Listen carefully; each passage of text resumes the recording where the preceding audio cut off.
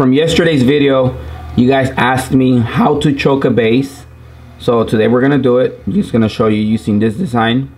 So we have a 12 inch, so it's 12 inches wide logo. The first thing that you wanna do is grab your registration mark.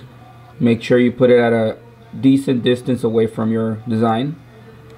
You wanna grab your design and group it okay now you grab the whole thing including the registration mark and then you make sure you center that. So once it's centered we're gonna go ahead and copy paste it. All right so this is gonna be a red print going on black shirts. So we gotta make sure that we label which one is which. So up here we're just gonna label this one red.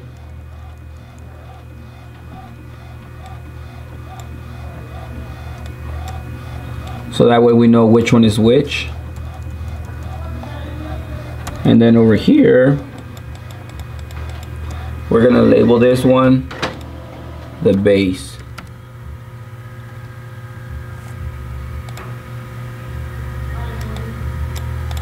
All right.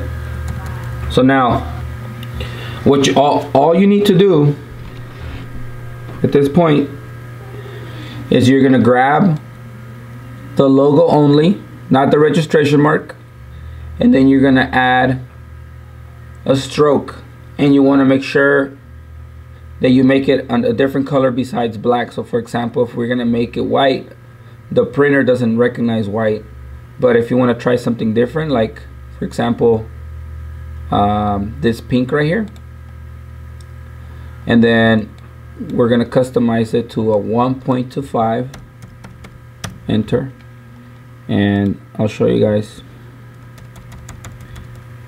See how it added the stroke? So it's basically not gonna print that. So if we select the whole thing and then we hit file print we're gonna deselect the magenta and the process black and we're only going to print the Pantone black which is uh, everything else except for this outline and that's how you create your your your base. If you're ever going to drop a color uh, on top of the white that way you don't have any white showing. A lot of people like to do it at one point. Other people like to burn the same film twice and just use it as a base. Uh, I really I'm not a fan of that. I've never had an issue with having the base choked at 1.25 except when you have a lot of details like for example on something like this because a lot of it goes away but even then uh, when you're dropping the color on top that little bit of base comes a long way. So it's really whatever you're into. But for those that have the question on how to choke the base that's how you do it. And like I said you don't have to do pink. Uh, we can make that a white. So obviously you're not gonna see that it's choked because the background is white but it's still there. So if you select see?